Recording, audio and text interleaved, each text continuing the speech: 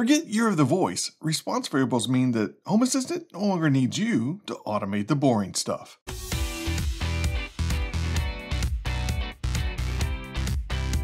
Welcome back to Slacker Labs. My name is Jeff. Response variables. Yeah, this video is all about response variables and Jinja.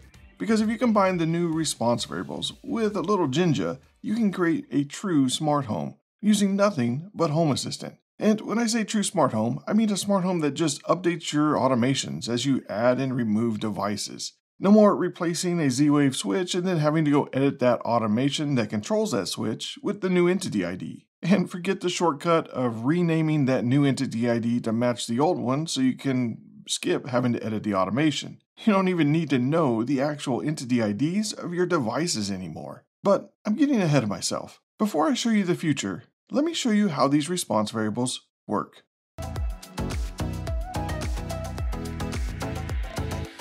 First off, any of the scripts or automations that you're going to see in this video will be linked to in the description, so you can grab them and use them for inspiration or whatever. And just know more videos about what I'm doing with these response variables will be coming. I mean, in the last week, I've rewritten Jarvis and my room present system, so I have a lot to talk about. For this video though, I want to show you the basics and give you some examples of how powerful these response variables are. And in that process, we're going to talk some Jinja, so if you're wanting to know some Jinja, stick with me. Okay, response variables. The whole idea with response variables is this. Let's say you have this really cool automation that, based on how it gets triggered, sends a different tagline or saying to your phone. I know, not super cool, but stick with me. Like maybe when someone presses a button, or when that vibration sensor. I mean, what do you call your Aqara vibration sensor? You have one of these, right? Because nothing says smart home like hitting an object to turn on the TV, which we could have done with the TV remote we walked past, right? I mean, come on.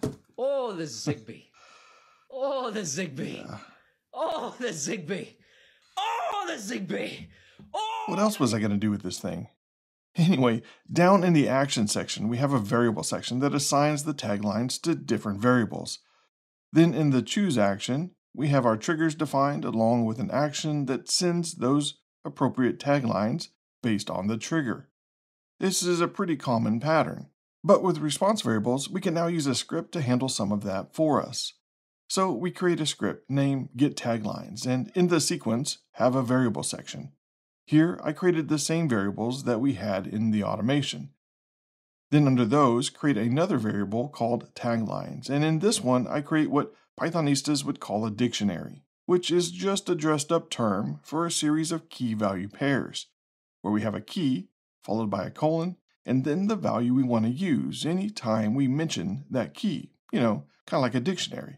Here, I've created a key, and yes, when doing this, I typically keep them the same, just so it's easy for me to know when I'm looking at the variables which one of those the key refers to. And the value of the key is some Jinja that gets the value of the variable above, and I did that for each one of these variables, putting them in this key colon value pair pattern, with each one separated by a comma, and all of them wrapped in a curly brace.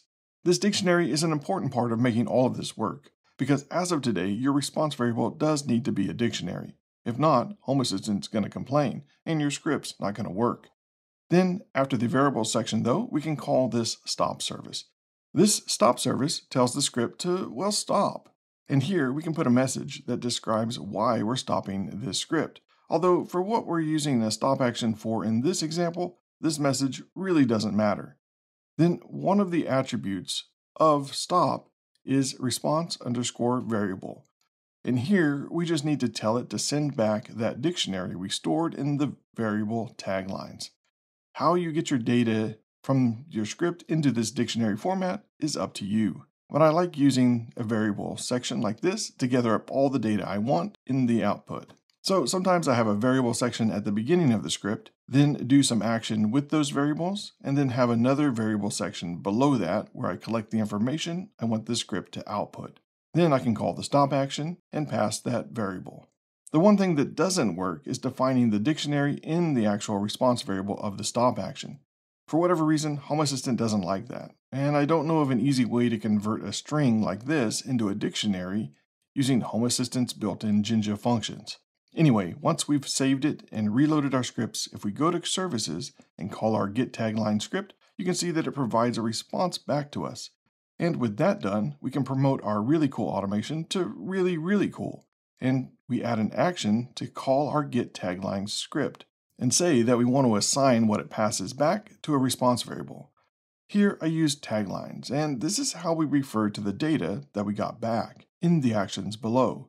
Now, when that automation triggers, it calls our get tagline script, gets the taglines, stores them in a variable, and then we can refer to that variable with the response variable name, dot, and the name of one of those keys from our dictionary.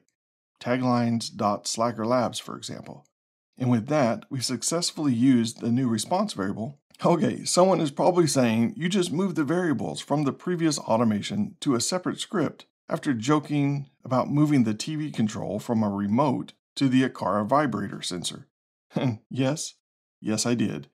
But I hope this simple example gives you an idea of how these response variables work, because things are only going to get crazier from here.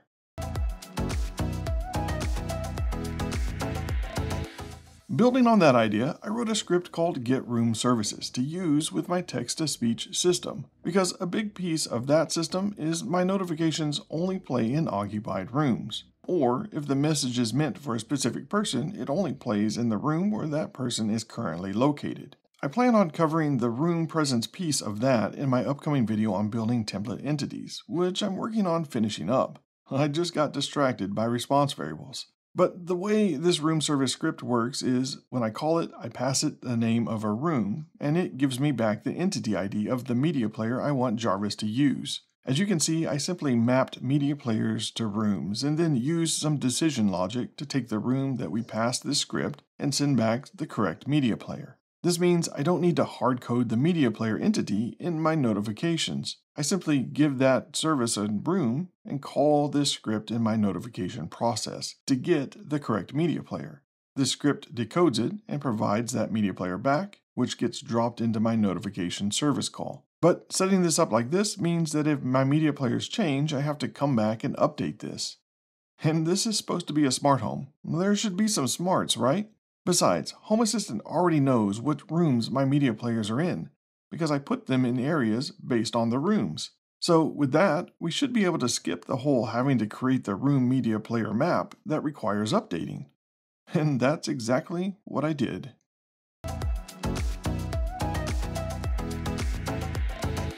Now, before we get into this, let me warn you, this does require some Jinja, and probably not basic Jinja. We're going to be using some more advanced stuff, that builds on the Jinja that we've already covered in the previous mastering template videos. Actually, it probably takes a leap forward. So if you see something that doesn't quite make sense, drop a comment and I'll make sure to clarify it in the next Jinja video. But I wanted to show you how this response variable could change how you build your automations. And besides, any of what I'm going to show you can be grabbed off my GitHub and dropped into your smart home. And in a minute, you'll see that I mean that literally. Okay, let's take that room services script where we pass it a room name and get back the entity ID of the media player we want to use in our text to speech notification. As I said in the beginning, entities change and we don't want to have to update our script every time that happens. So with a little response variable in Jinja Magic, the room services script looks like this, which goes from a lot of hard-coded values to just a small Jinja template.